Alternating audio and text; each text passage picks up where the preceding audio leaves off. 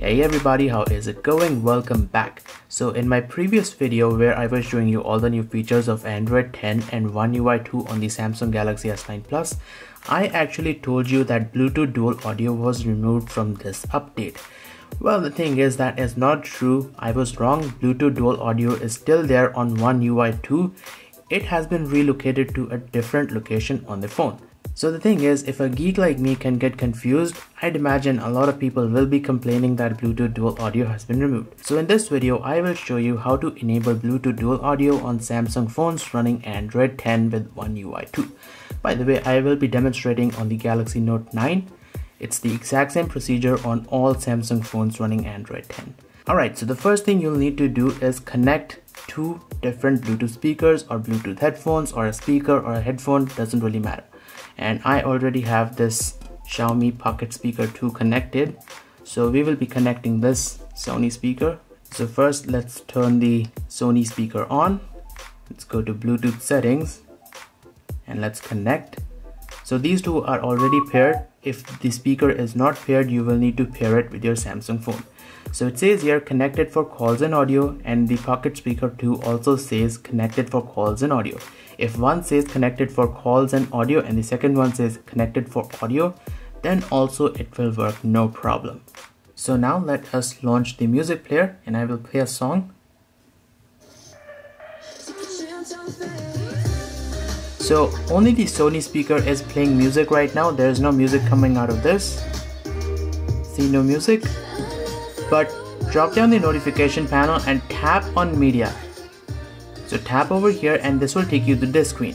So this is where you can enable Bluetooth dual audio. So if you press over here, so now music is playing back on both of these speakers and both of these speakers have separate volume control so check this out.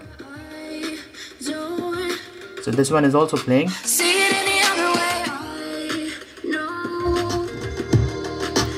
this one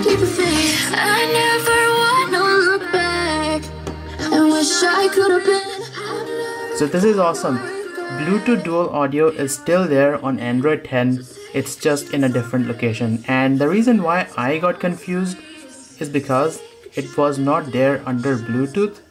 Previously you would find Bluetooth dual audio here and it was also not under sound and vibration. So it is in a completely different location under media.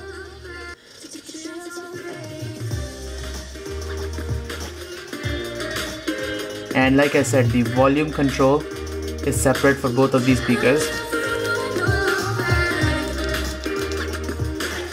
So yeah, Bluetooth dual audio is a fantastic feature if you and your friend want to listen to the same song at the same time. You can do that with this little feature called Bluetooth dual audio. And I am extremely sorry about the confusion. I think I should have done a little bit more research before posting that video. Another feature that I think many of you guys don't know is separate app sound. So picture this, you are at a party and you are streaming music from your phone to a Bluetooth speaker. And someone comes up to you and asks you to play a YouTube video. Or you might want to show your own YouTube video to someone. But if you play a YouTube video, the music streaming stops and that will interrupt your party. So check this out there's a feature called separate sound that will allow you to stream music from your music player uninterrupted to the Bluetooth speaker and you can still play YouTube video and the sound from the YouTube app will play on the phone. So that is separate app sound. So go to settings and then tap on sounds and vibration, scroll down and then tap on separate app sound and turn this feature on. So first thing you'll need to do is select an app so tap over here and select Samsung Music or whichever music player you want to use. So the app that you select over here will play music onto the Bluetooth device. So Samsung Music will stream music to the Bluetooth speaker and then under audio device make sure that you select the Bluetooth device and that is all you need to do. Now if you get a prompt over here just tap on OK but we don't seem to get any prompt. So first time when you set this feature up you will get a prompt just tap on OK and that and then you are pretty much good to go. So now I'm gonna play music in the music player and launch the YouTube app. So check this out.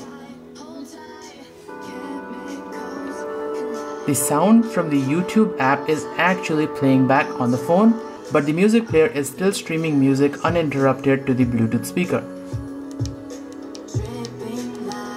So, and you can control the volume level of the Bluetooth speaker on the speaker itself. So that was Bluetooth dual audio and separate app sound on the Samsung Galaxy Note 9. The S9 Plus running Android 10 and One UI 2 also has this and the newer phones also have this feature. So I think that brings us to the end of this video. Thank you for watching and stay tuned for more videos like these and I will see you guys next time.